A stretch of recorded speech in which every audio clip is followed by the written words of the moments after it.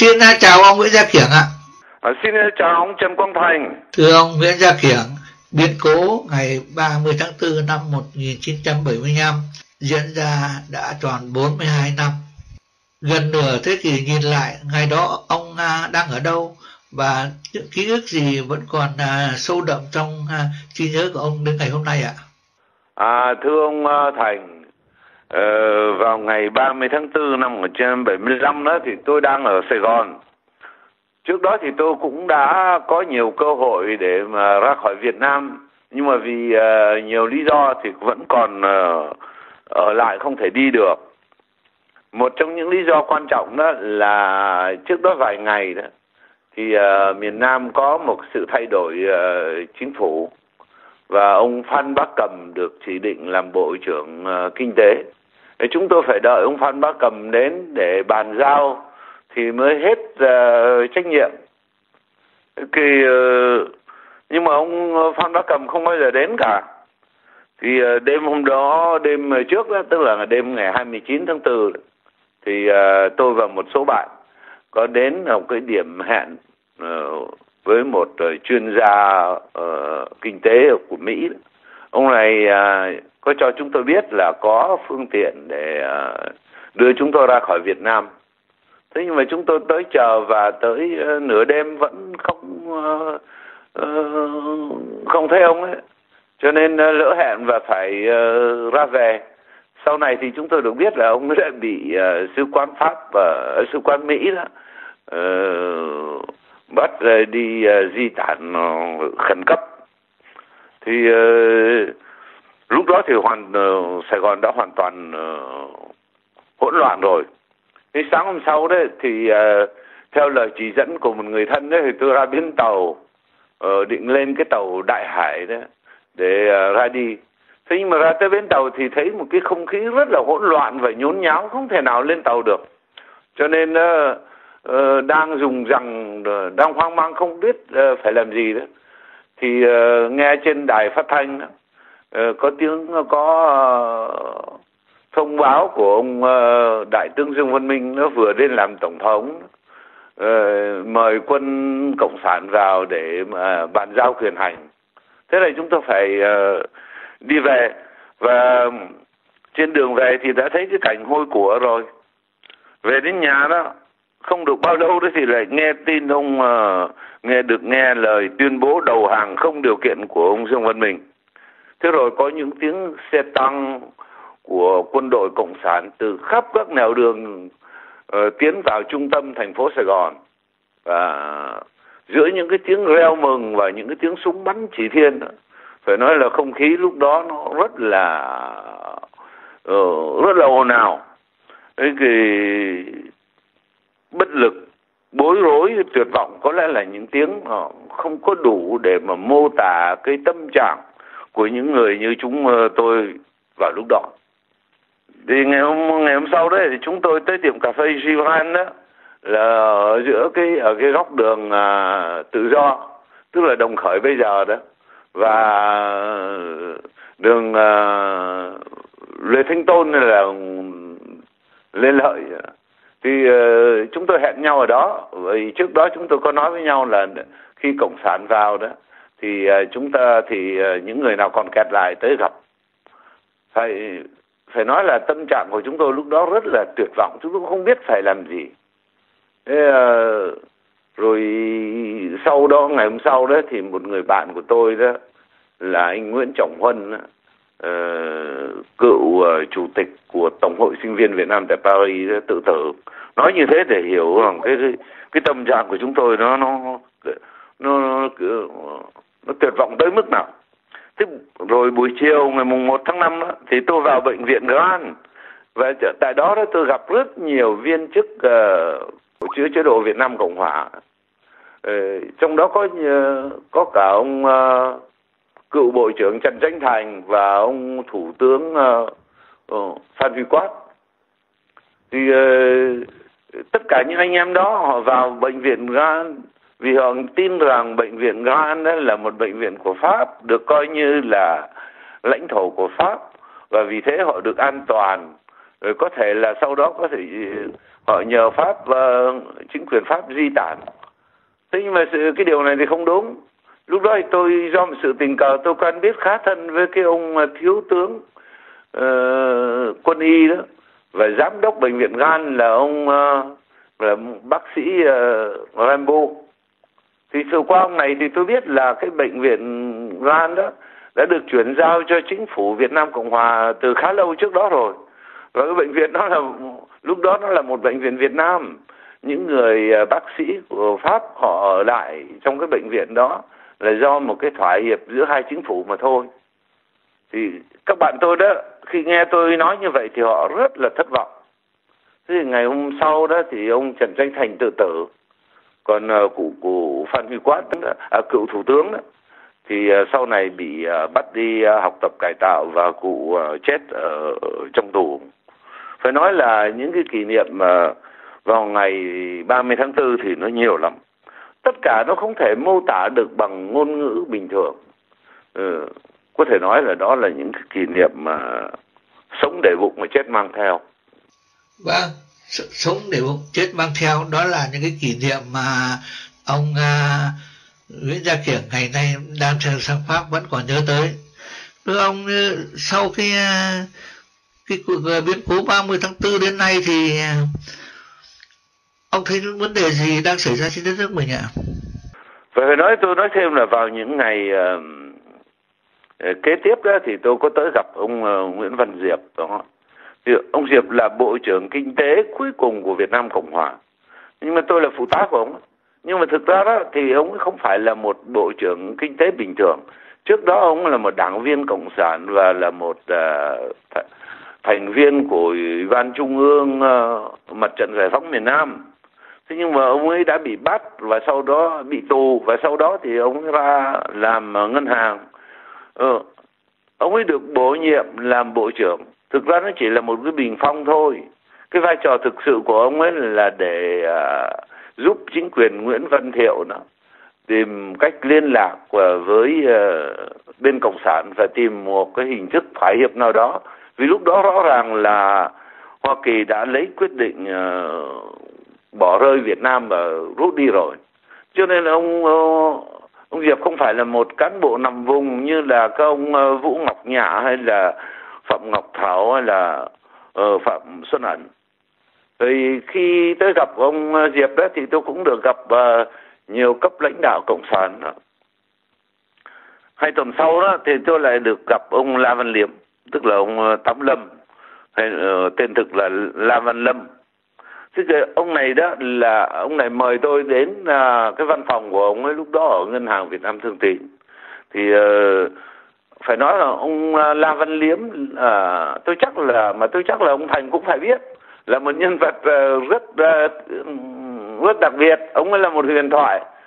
Trong cái thời gian trong khoảng thời gian cách mạng tháng 8 thì ông ấy là trưởng ban ám sát của uh, cộng sản ở trong cái vùng uh, Sài Gòn chợ lớn. Và rất nhiều người uh, quốc gia đã bị ông ấy hạ sát cho nên khi mà được ông uh, có, có nhiều người nói rằng có người còn nói với tôi rằng vào thời điểm đó, đó rồi trẻ con mà nghe cái tên ông La Văn Liếm là không dám khóc đêm. Cho nên khi mà được ông La Văn Liếm mời thì các bạn tôi rất là lo âu. Họ nghĩ rằng cái này là một cái điểm không lành. Và có lẽ là vì công an cộng sản đã khám phá ra rằng tôi là một uh, người lãnh đạo cái, cái phong trào chống cộng ở hải ngoại trong thời gian tôi còn ở, ở nước ngoài. Thế nhưng mà khi tôi đến thì uh, ngoại thì cái cục diện nó khác hẳn. Thì tôi nhận ra là bà tôi gặp uh, bà vợ ông La Văn Điếm. Thì bà ấy là một nhân viên của bộ kinh tế mà tôi uh, cũng đã từng làm việc trước đó. Thì rồi bà ấy nhận ra tôi và bà ấy rất là tươi cười. Bà ấy nói rằng bà ấy đã quan sát tôi và bà ấy rất có cảm tình. Thực sự thì tôi cũng chỉ đối xử với bà La Văn Liếm như là đối xử với tất cả những nhân viên tại uh, tại bộ kinh tế đó thôi. Hai ông bà Lam Văn Điếm là mời tôi ở lại ăn cơm. Và họ đều nói rằng họ sẽ bảo đảm họ đủ họ sẽ bảo đảm và họ đủ khả năng để bảo đảm họ hoàn toàn về an ninh cho tôi. Tôi sẽ không phải đi học tập uh, gì cả. Thế qua câu uh, qua câu chuyện thì tôi cũng được uh, ông uh, La Văn Liếm cho biết là sau khi ra tập kết ở Hà Nội thì ông đã chuyển ngành và ông đi sang làm kinh tế và giờ đây thì ông vào để tiếp thu cái uh, kinh tế của trong ví dụ ông là một trong những người vào để tiếp thu kinh tế miền Nam. Rồi uh, dần dần đó trong những ngày kế tiếp thì qua ông uh, Nguyễn Văn Diệp và ông La Văn Liếm tôi cũng được gặp và nói chuyện với nhiều uh, cán bộ cộng sản khác. Và dĩ nhiên là cũng được nghe rất nhiều bản diễn văn rồi uh, tuyên bố rồi phát biểu dồn dập của các cấp uh, lãnh đạo uh, cộng sản. Phải nói rằng về mặt an ninh thì uh, tôi gần như là được hai ông Nguyễn Văn Diệp và ông La Văn Liếm bảo đảm hoàn toàn. Thế nhưng mà cái điều làm tôi kinh hoàng đó là cái trình độ hiểu biết của đa số những cấp lãnh đạo mà tôi uh, được tiếp xúc lúc đó. Họ không biết ngay cả những cái kiến thức rất là sơ đẳng họ nói những cái điều mà không thể tưởng tượng được. Ví dụ như là liên xô về khoa học kỹ thuật vượt hẳn mỹ. Ví dụ như ví dụ như là việt nam trong vòng 10 năm nữa sẽ bắt uh, gặp bắt kịp pháp và các nước uh, tiên tiến. Rồi có nhiều điều rất là khó tưởng tượng uh, rất là hoang đường. Đặc tính của những người uh, uh, dốt đó là họ không biết mình dốt và họ nói những cái điều ngây ngô một cách uh, đầy tự tin thế vì cái cảm tưởng của tôi lúc đó là cái cảm tưởng chua chát như là nhìn thấy một cái uh, một cái đạo quân man rợ nó tràn ngập lên một uh, nền văn minh ờ. rồi sau đó đó thì uh, vào khoảng cuối tháng thì uh, được uh, thông cáo là các uh, uh, Ờ, viên chức ờ, công chức cũng như quân nhân của chế độ Việt Nam Cộng Hòa phải ra trình diện học tập ờ, để đi học tập cải tạo. Thì qua cũng qua hai ông Diệp và qua ông Lê Văn Liếm và qua những cái tiếp xúc thì tôi hiểu rằng những người đi học tập cải tạo đó sẽ không phải là sẽ không đi trong vòng vài ngày hay vài tuần như họ nói mà thời gian sẽ rất là dài. Thế thì tôi có nói với ông uh, hai ông Nguyễn Văn Diệp và La Văn Liếm rằng tôi rất cảm ơn họ họ nhưng mà tôi không thể chấp nhận cái sự bảo vệ của họ được. Vì tôi ờ, tôi nghĩ rằng tôi nói với họ hoặc là tôi sẽ đi học tập cải tạo như bao nhiêu người khác hoặc là tôi sẽ trốn đi. Chứ tôi không thể để cho các bạn bè họ, họ nhìn mình như là một ờ, người phản bội. Sau đó thì tôi trốn về miền tây để dự định ra nước ngoài nhưng mà bị bắt trở lại. Và cũng nhờ hai ông uh, Nguyễn Văn Diệp và La Văn Điếm đó. Thì uh, tôi uh, uh, không có bị uh, đi cải tạo nhiều chỉ vì ở tù trong vòng ba uh, năm rưỡi mà thôi. Thưa ông Nguyễn Gia Kiểm, ông vừa kể lại một vài nét trong những cái ngày đầu mà biến cố 30 tháng 4 và những cái sự chứng kiến của ông đối với những cái người mà cộng sản đầu tiên mà ông tiếp cận và để lại cho những cái cảm giác cũng rất là thất vọng ngay từ những ngày đầu đó. Bây giờ hồi tưởng nhớ lại thì đã qua. Nhưng mà chúng tôi muốn hỏi ông một cái điểm như thế này. So với lại như ông nói đến cái trình độ về khoa học, kỹ thuật, trình độ về nhận thức ờ, nọ kia thì đối với những cái người đó ông thấy rất là tầm thường.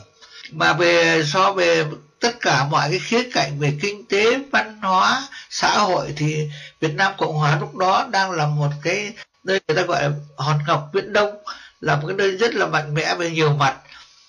Rồi nhất là vấn đề tự do, tư tưởng, tự do các thứ cũng đã bắt đầu manh nha. Và lại có cả một lực lượng hồng hậu làm mỹ giúp sức nữa. Thế trong một cái chế độ mà như vậy thì tại sao mà lại không thể đánh thắng được cái chế độ cộng sản mà theo như các vị nó rất là lạc hậu què quạt nhiều thứ mà để vệ nó, nó xâm chiếm được Việt Nam sau khi mà bị Mỹ bỏ rơi thưa ông. Phải nói rằng cái lý do đầu tiên nữa bây giờ chúng ta có thể bình tĩnh nghĩ lại. Thì đó là cộng sản trước hết là một lực lượng khủng bố. Muốn chống lại được một lực lượng khủng bố trong theo những cái phương tiện uh, cổ điển đó thì có lẽ phải có một cái tương quan lực lượng là một trăm hay là một ngàn chống lại một. Hiện nay là chúng ta trong nhiều năm qua này, chúng ta đang chứng kiến thế giới chật vật và cũng không dẹp hẳn được một cái một cái đội của, cái lực lượng khủng bố của lực lượng hồi giáo toàn nguyên đó, chỉ có vào khoảng 10.000 người thôi. Cho nên chống khủng bố là một điều rất là khó khăn. Hơn nữa đó phong trào của cộng sản lúc đó lại được một cái bối cảnh quốc tế rất là thuận lợi. Tôi ở bên pháp này và được chứng kiến tận mắt hàng ngày. Luôn luôn có lúc đó khủng bố không bị coi là một cái hành động uh, hèn nhát và thô bỉ như bây giờ đâu. Mà trái lại được được uh, xưng tụng như là một hành động uh, anh hùng. Uh, Che Guevara rồi uh, Fidel Castro rồi Hồ Chí Minh uh, được coi là những thần tượng trong những cái cuộc biểu tình xảy ra hàng ngày tại uh, Mỹ và Âu Châu. Cho nên muốn thắng được uh, khủng bố đó thì uh, phải dứt khoát uh, giành được lòng dân. Nhưng mà chế độ uh, Việt Nam Cộng Hòa không làm được điều đó không ý thức được điều đó nữa và cũng không làm được điều đó. Và cũng không phải chỉ có thế đâu chúng ta cần phải biết rằng khi một chính quyền phải đương đầu với một cuộc uh, chiến đấu sống còn thì cái lực lượng chỉ đạo phải là lực lượng chính trị. Lực lượng chính trị phải chỉ huy phải điều khiển uh, các lực lượng uh, vũ trang. Tuy vậy ta phải, phải chống cộng. Trước hết là quốc gia Việt Nam từ năm 1948 cho tới uh, năm 1955 rồi Việt Nam Cộng Hòa từ 1955 cho tới ờ, uh, 1975 đó thì không có hoàn toàn là không có lực lượng chính trị đó. Bởi vì ờ, uh, thì nó giống họ, họ chỉ là một cái bộ máy uh, quân sự và hành chính một bộ máy được tiếp liệu chủ yếu nhờ viện trợ của Hoa Kỳ. Cho nên đó khi Hoa Kỳ uh, quyết định rút khỏi Việt Nam và cắt viện trợ thì chế độ bị cạn kiệt ờ, bị kiệt quệ rất là nhanh chóng. Lúc đó tôi ở trong ờ, chế độ Việt Nam Cộng Hòa. Cho nên có thể ờ, làm chứng cho cái sự kiệt quệ toàn bộ đó. Đó đó chính là lý do mà Việt Nam Cộng Hòa đã đã sụp đổ nhanh chóng. Khi sau khi uh, uh, Hoa Kỳ bỏ rơi một thời gian và sau khi uh, Đảng Cộng sản mở đợt uh, tổng tấn công. Cần phải nhấn mạnh là chế độ Việt Nam Cộng Hòa không không có một cái lực lượng chính trị. Nó chỉ là một bộ phận hành chính và quân sự thôi. Nó giống như một cái bộ máy mà không có người uh, uh, điều khiển. Chúng ta cũng không nên có một điều mà tôi thấy rằng có nhiều người vẫn nói nhưng mà nó không đúng sự thực. Đó là đổ lỗi cho Hoa Kỳ đó là đã bỏ rơi Việt Nam. Sự thực đó thì Hoa Kỳ đã can thiệp vào Việt Nam trong vòng 15 năm. Trong suốt lịch sử của thế giới trong suốt lịch sử của Hoa Kỳ chưa bao giờ họ kiên nhẫn trong một cuộc uh, can thiệp vào nước ngoài như, đến như Việt Nam. Uh, đến uh, như là họ đã can thiệp uh, tại Việt Nam. Phải nói là chế độ Việt Nam Cộng Hòa đã sụp đổ vì nó không thể tồn tại vì nó nó không có sức sống chứ không phải là vì bị Hoa Kỳ bỏ rơi. Vâng, Việt Nam Cộng Hòa lúc đó đã không còn sức sống nên đã bị à, à, Cộng sản thừa cơ mà xâm chiếm và nó lấy được miền Nam.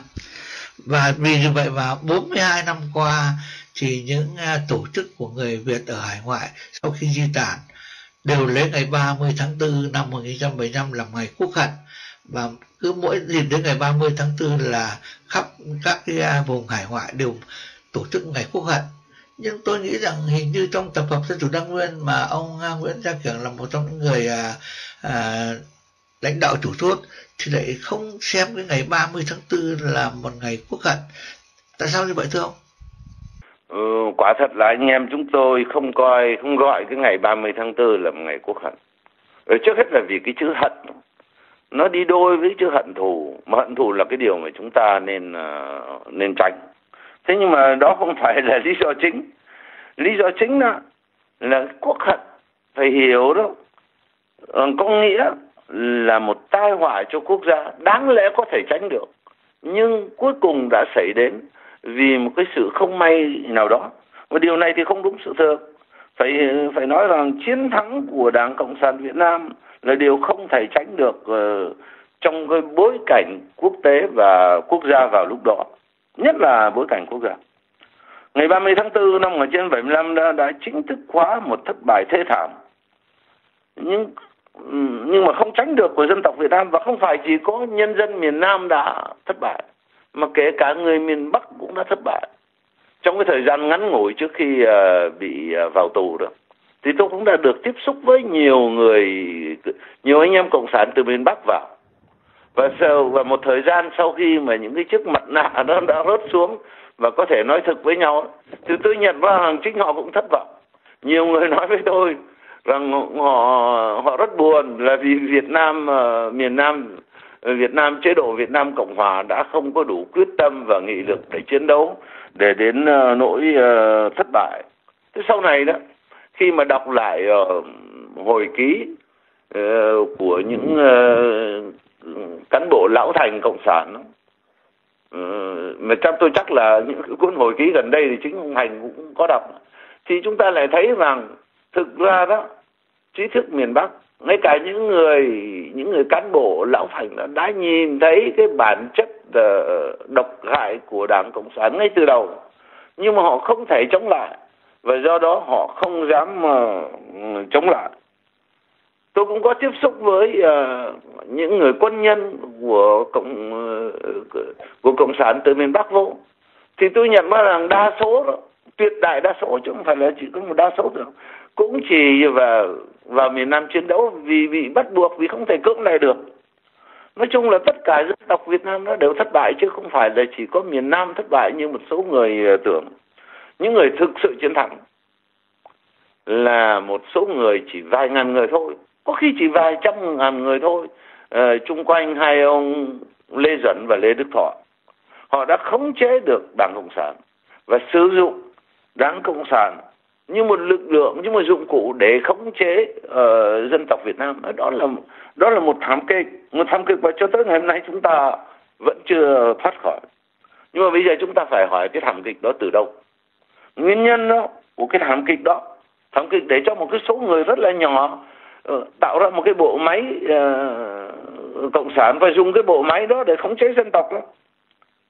Nguyên nhân của cái thảm kịch đó là cái di sản văn hóa khổng giáo.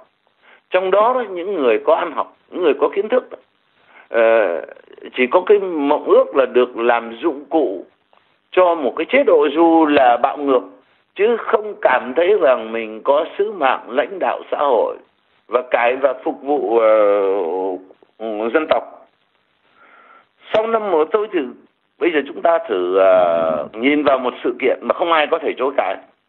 Tức là sau năm 1975 đó, đã có hàng ngàn uh, viên chức uh, quân đội cũng như công chức của chế độ Việt Nam Cộng Hòa ra đứng nước ngoài ở vào một cái tuổi rất là cương tráng uh, với rất là nhiều kiến thức.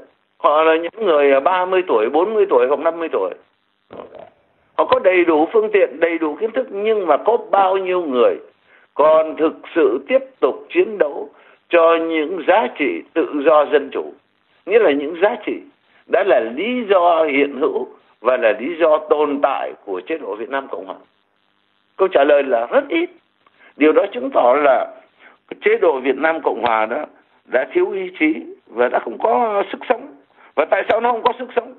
Nó không có ý chí và sức sống bởi vì nó chỉ là một guồng máy hành chính và quân sự chứ không phải là một lực lượng chính trị có tổ chức. Những người à, lãnh đạo Việt Nam Cộng Hòa, những người lãnh đạo à, phe chống cộng từ cái uh, từ ông chính quyền của Bảo Đại đến uh, chính quyền Nguyễn Văn Thiệu qua chính quyền uh, Ngô Đình Diệm và hội đồng quân nhân sau ông Diệm đều là những người của thuộc cái guồng máy uh, uh, thuộc địa cũ ờ, để lại. Vào ngày 30 tháng 4 năm 75 đó thì uh, ông tổng thống Dương Văn Minh cũng như ông bộ trưởng uh, quốc phòng Trần Văn Đôn uh, đều là hai ông trung úy của uh, quân đội pháp trở lại để lại. Đây mặc dầu là người Pháp đã ra đi từ 20 năm rồi hai từ từ năm 1955 tức là 20 năm rồi. Tức là Việt Nam Cộng Hòa đã không thể đổi mới nó đã ngã gục vì nó không thể đổi mới để thích nghi với cái đòi về những đòi hỏi mới của đất nước. Còn những cái đảng đã hy sinh đã chiến đấu và hy sinh cho độc lập dân tộc như là Việt Nam Quốc dân Đảng và Đại Việt thì bị đàn áp và đã bị uh, loại ra khỏi uh, chính quyền cho nên á cái chính thể Việt Nam Cộng Hòa nó không chỉ thiếu ý chí mà nó còn thiếu cả cái sự uh, chính ờ, cái mà ta có thể gọi là một sự uh, chính đáng lịch sử cho nên nó đã không vận động được không có uh, tranh thủ được uh, sự ủng hộ của nhân dân Việt Nam. Và do đó đó uh, cái sự thất bại là không tránh khỏi. Nếu mà chúng ta không hiểu được điều này đó và tôi có cảm tưởng đáng tiếc là cho tới ngày hôm nay một số người vẫn chưa hiểu được. Thì chúng ta không thể nào uh, tranh đấu một cách có hiệu lực để đánh bại cộng sản và giành thắng lợi cho dân chủ. Tôi nói về, về thất bại của miền Nam thì cũng nói qua thì không phải phải nói lại. Sự thực đó là trong cái 27 năm tồn tại qua cái trong cái sự xô bồ của nó nó cũng có tự do và nhờ cái quyền nhờ cái tự do nhờ cái không gian tự do đó tự, không gian tự do rất là tương đối đó nó đã tạo ra được một lớp người trẻ một người có tinh thần dân tộc có kiến thức chính trị. Nhưng mà những người này đó vào cái thời điểm 1975 đó họ chưa nắm được những cái vai trò quyết định những vai trò lãnh đạo quyết định trong chính quyền ờ, Việt Nam Cộng Hòa. Họ chưa đi tới chưa nắm được cái vai trò quyết định thì ờ, cuộc chơi đã chấm dứt. Thì ừ, cái đó có lẽ cái thảm kịch ờ, có hay chăng là ở chỗ đó. Ừ. 42 năm đã trôi qua. Cộng sản đã toàn chiếm từ Bắc đến Nam và đặt ách thống trị một chế độ độc tài toàn trị đến đất nước Việt Nam.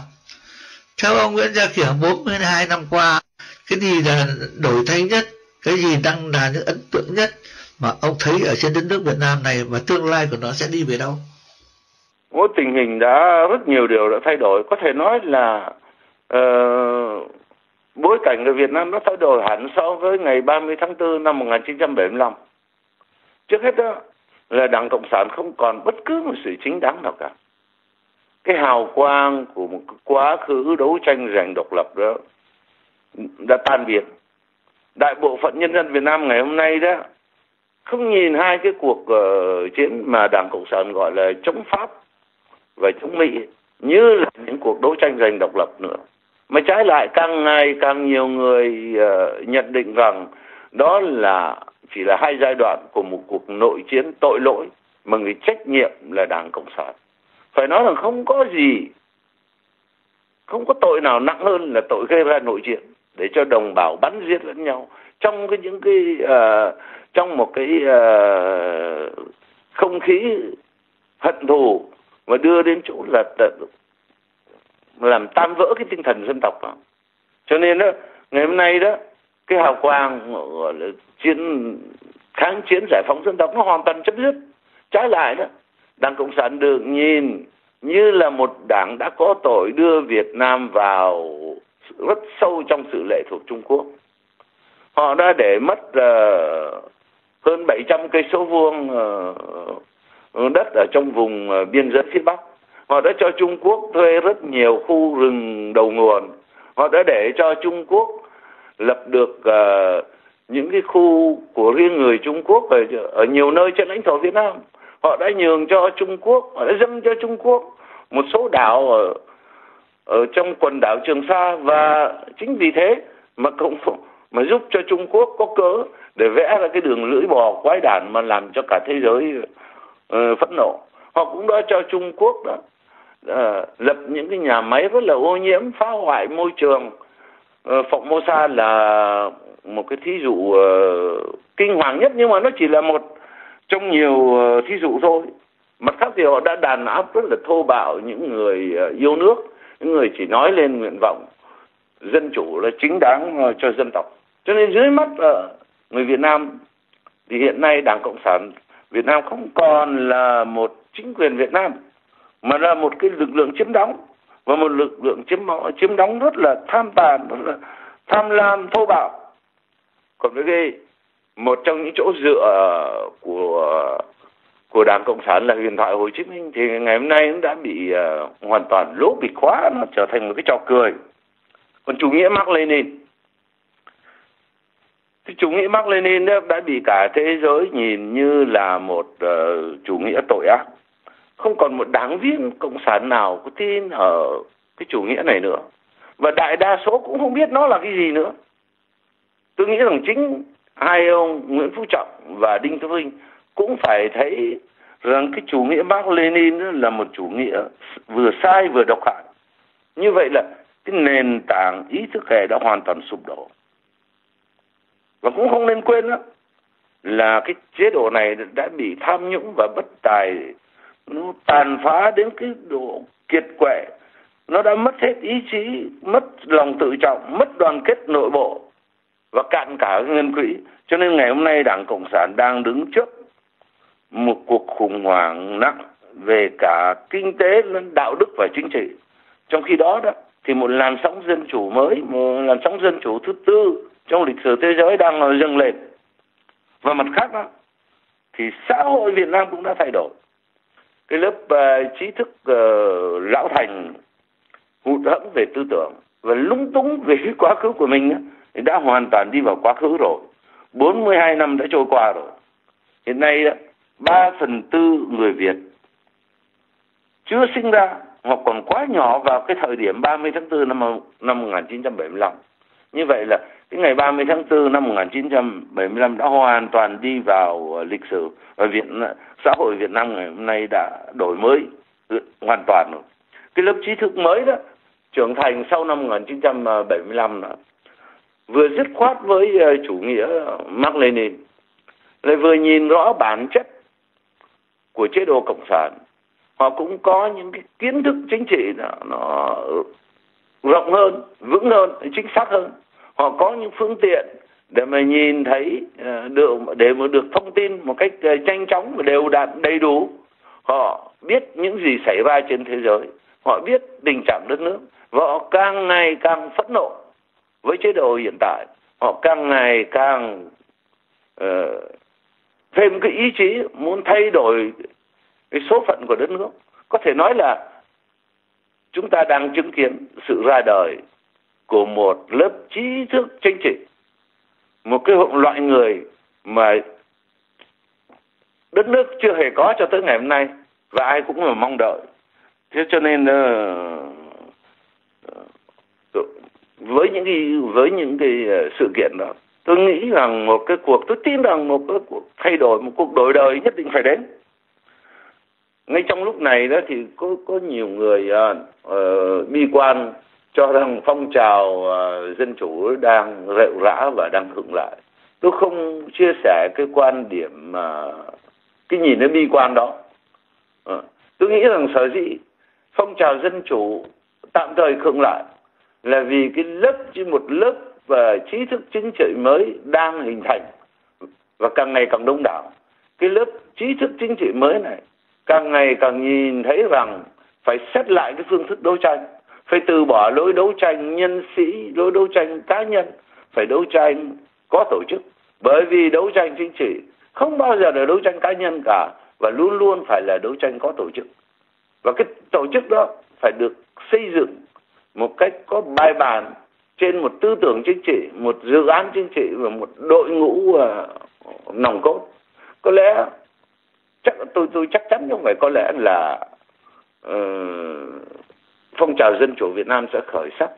Sau cái cuộc xét lại rất là cần thiết này đất nước Việt Nam nhất định sẽ phải thay đổi vì trên thực tế nó đã thay ra đổi thịt thưa ông Thành. Thực Vâng, đất nước Việt Nam nhất định sẽ phải thay ra đổi thịt. Và đó là một niềm tin tưởng vững chắc mà những người Việt Nam chúng ta đang nhìn đến tương lai. Xin chia sẻ với ông, với Gia Hiển điều đó và xin thành cảm ơn ông ạ.